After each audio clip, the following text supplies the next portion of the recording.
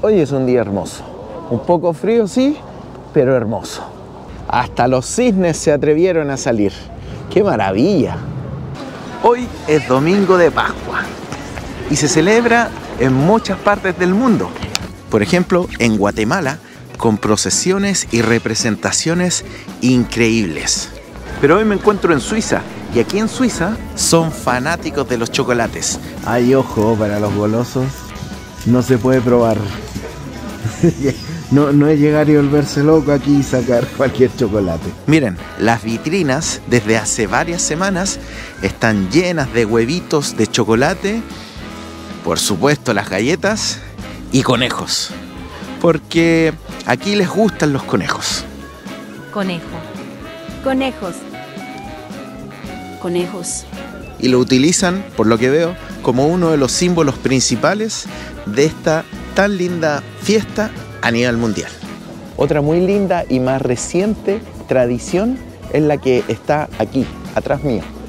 La de las rosas en las fuentes de las plazas. Estoy específicamente en esta plaza que se llama Münstershof o Münsterhof. Münsterhof. No sé bien cómo se pronuncia. Hubiese sido muy interesante haber aprendido alemán antes de venir para acá para poder entender cada detalle de los letreros que hay en esta hermosa ciudad.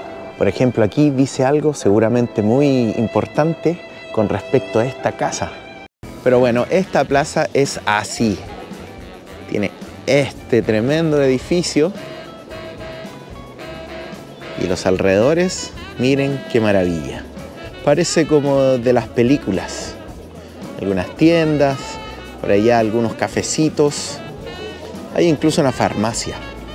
La tradición de llenar las fuentes con rosas en Zúrich comenzó en el año 2021, durante la pandemia del COVID-19.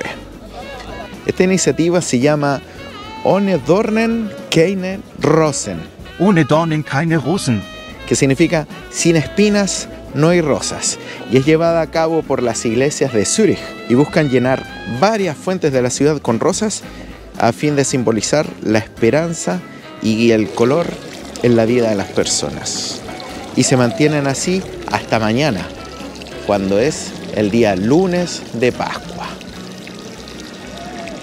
Así que ya lo sabes, más allá de los chocolates, de las celebraciones religiosas, también hay otros símbolos como este que es bien reciente, que están comenzando a florecer. Oh, pero tal vez no todos están felices, porque en este día tan especial alguien perdió su chupete y probablemente eligió el camino del llanto. Si el video te gustó, dale like y no te olvides que siempre te puedes suscribir. Un abrazo y un huevito para ti en este domingo de Pascua y nos vemos en el siguiente episodio.